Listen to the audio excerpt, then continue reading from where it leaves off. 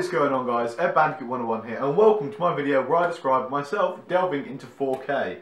So as you guys can see I've recently picked up a 4K TV. At the moment I'm playing the, what's it called, Moving Art series on Netflix which does play in 4K. I've got the HDR mode enabled and it looks pretty fantastic. So this is 4K, 60 frames a second, and I'm going to tell you which TV it is. So this is only 40 inches, it's the 6100 series Samsung 40 inch TV. So this was released in 2015 and supports things like 4K at 60 Hz, which is, for the latent view out there, it is 3840 by 2160 in terms of the overall resolution, and 60 Hz means 60 pixels per sec, uh, 60 frames per second in terms of the refresh rate of the monitor. Uh, I needed to pick up something that was 60 Hz because I do a lot of gaming. So I've also recently purchased the Xbox One S.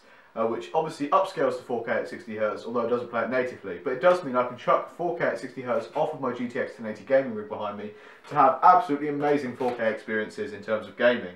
But the HDR is an added bonus as well because the future PlayStation Plus and the Xbox One S and the upcoming Xbox One Scorpio all support HDR content on some games. Like I know Forza 3 Horizon supports HDR uh, as well as 4K, so stuff like that's going to look fantastic and it's absolutely beautiful. So HDR means high dynamic range and means more accurate and realistic lighting in scenes, which as you can see, this does look absolutely fantastic. And this video is only in 1080p at 60 frames a second, so you're not going to get a true idea of how dense the pixels are in this, because it really is ultra sharp. I've left the picture in terms of how it looks stock as to what the natural settings on the TV are, and um, I've reduced things like the motion, I've, I've turned off the motion anti-motion blur stuff. So most of the post-processing I've taken out of the equation just to try and get the picture look as real and vivid as possible with standard picture settings, HDR enabled. And I've got to say, while Samsung displays are slightly saturated for the purists out there, I think the vibrancy of the display is absolutely lovely and I could not fault it. Uh, I'd highly recommend picking one up. I picked this one up for £499, which is about 700 US dollars. And over here, including our value added tax that we pay in England, that is damn cheap for a 4K curved HDR 40 inch panel. Obviously it's LED, it's not AMOLED, it's nothing special, but it was a hell of an upgrade from a 32 inch Blaupunkt HD TV that I had previously. But uh, I've got to say, Battlefield 1 on the Xbox One S, upscaled uh, from 1080p to 4K uh, with HDR enabled, looks absolutely beautiful. Uh, I cannot fault the TV. For the price point, I think it's fantastic. It's light. And another thing I thought I'd have to mention is the fact that it does have HDMI 2.0 support, meaning stuff like the Xbox One S and my PC can be inputted at 4K 60Hz. No compromises in terms of the refresh rate for pushing that resolution, as long as you have a fast enough HDMI cable to do so, uh, aka HDMI 2.0A cable. My graphics card's a 1080 as previously mentioned, which means it supports HDMI 2.0B. Not sure what the difference is there, but uh, anyway, it's definitely 4K at 60Hz, which is brilliant. Another thing I thought I'd have to mention is the fact that the speakers in this TV are fantastic. So if you are looking at picking it up, try it before you buy a soundbar combo with it. Because while you may get a soundbar slightly cheaper if you purchase it with the TV, I would hold off because from a consumer perspective, the sound output from this TV is absolutely spectacular. So spectacular, in fact, I've actually unplugged my uh, House of Marley dual speaker system I have behind it, which is, I think it's 200 watts. So it's quite a big speaker system.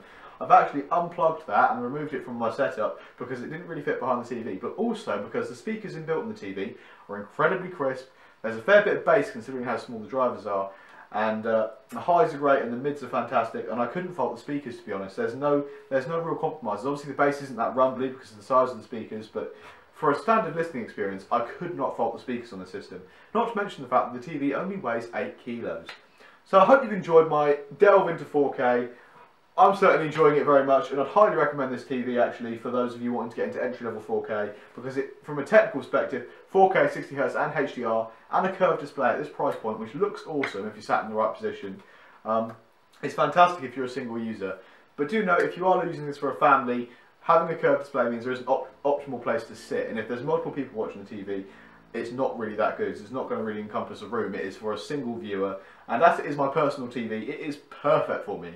I really enjoy it and I hope you guys, if you're looking to delve into 4K, consider this panel because I couldn't fault it. It's bottom lit, meaning it's not backlit. Uh, so, and purists out there may say, you know, get a bit of backlight bleed. I couldn't say I spot any backlight bleed. I've seen bad TN monitors before with backlight bleed. This does not exhibit any of those um, issues. And the backlighting, as you can see, is incredibly even. It's not particularly brighter at the bottom, if at all. I couldn't say I think it is at all. So, um, absolutely fantastic. You're looking at getting into 4K, pick one up. I'll see you guys very soon with more awesome gaming and tech content. Stay subscribed for more awesome videos as well because other stuff I've recently posted is uh, getting pretty good views. So have a look at those. But also check out my social media. Links to that are in the description below. Uh, Facebook Ed Bandicoot 101, Twitter's Ed Bandicoot 101, and Instagram is Ed Bandicoot 101. Links to all that stuff is in the description. So feel free to follow me, tweet at me, and all that good stuff to keep me producing this awesome content for you guys. Hope you guys enjoyed the video, and I'll see you very soon with more awesome content.